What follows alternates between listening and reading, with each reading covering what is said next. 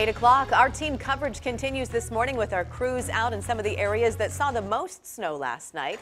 10 on your sides, Kiana Patterson is live in Camden County, keeping an eye on conditions for all of our viewers in eastern North Carolina. And our Kayla Gaskins is in Suffolk this morning. Let's start there. And Kayla, we can see a lot of snow behind you. Oh yes, there is a lot of snow. This is an example of where you can be in one part of the city and you really just have a dusting and pretty patchy snowfall and then you go about 15 minutes in the other direction within the same city limits and you get this that we have right here. We're off of Godwin. We're near Obici Hospital. Um, now earlier this morning I was saying I didn't have a ruler. I didn't know how much snowfall was here. I was kind of guesstimating it, eyeballing it. That is definitely not my strength. So a viewer was kind enough to stop by and uh, bring us this clipboard that has a ruler on it. So we've been measuring the snowfall. I know Jeremy Wheeler has been asking viewers to send in uh, their estimates. We had a man in Suffolk say four inches, and that is about what we have over here. You can see there's the four inch mark right there, and we are just below it. So quite a bit of snowfall out here in Suffolk. I think it's one of the heaviest areas that we've seen in Hampton Roads.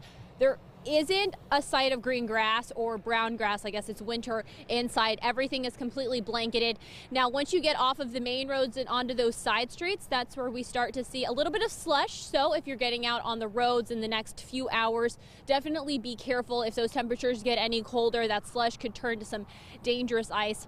And here in Suffolk, public schools are closed today and all after school activities are canceled today as well. As far as those city offices are on a two hour delay, so they're going to open up at 10:30 this morning instead of the regular start time. Also, the courts are closed today, so if you had any business at the courthouse, uh, you're going to have to save that until next week. And that's the latest from Suffolk. I'm Kayla Gaskins, 10 on your side.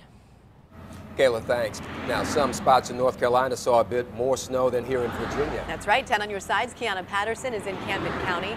Kiana, how are the roads there?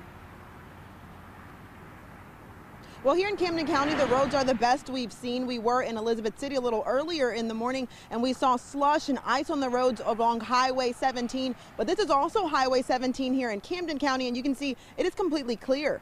Um, the cars are driving smoothly. There's no ice, there's no slush, um, and NCDOT crews did a very good job of making sure that these roads are clear. They've been scraping and treating the roads all morning long, and we did speak with Christy Sanders with the emergency management. We just got off the phone with her not too too long ago and she says the road conditions are, are very well. Not much has changed since the last time I talked with her, but they are keeping an eye on areas with wet roads. They don't want that wetness to turn into ice. So they are keeping an eye on that and they do ask drivers to give some distance to the other cars around you and also drive slowly. Now also that there is some snow on the ground here. It's just in half an inch. So nothing that we've seen in Suffolk or in the other areas, but it is a half an inch here on the grassy areas, but the roads are completely clear so you guys can move on through quickly. We're in Camden County, Kiana Patterson, 10 on your side.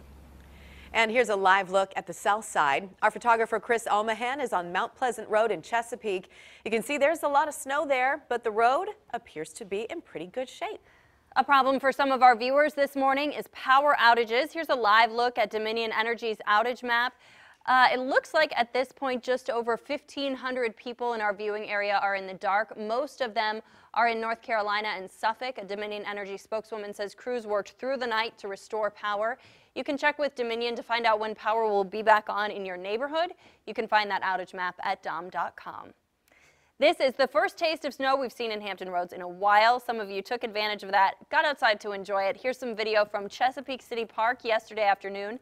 Our crews saw some people out exercising. We also spotted those who just wanted to have fun playing in the snow. We caught up with a father and son having a snowball fight, and since we don't get snow often, they told us they just wanted to enjoy the moment. Oh, it's awesome. I enjoy it. He makes me a big kid, so it's a blast when we get opportunities like this to enjoy the snow and being outside. Today is a snow day for a lot of kids in the area. We have school closings scrolling across your screen right now. We also received a lot of delays and closings from city offices and businesses, so be sure to check wavy.com before you head out this morning.